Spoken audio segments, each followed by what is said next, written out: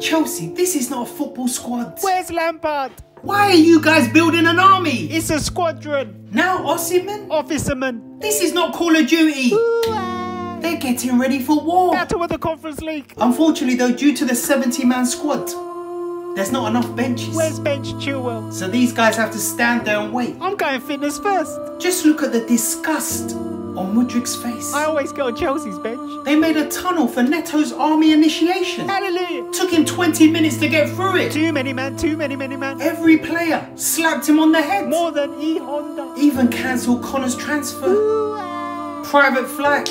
You gotta come back and fight. Conor McGregor. Luckily, due to the recruit, In Todd we trust. they've got four lines of defense. Praise the Lord.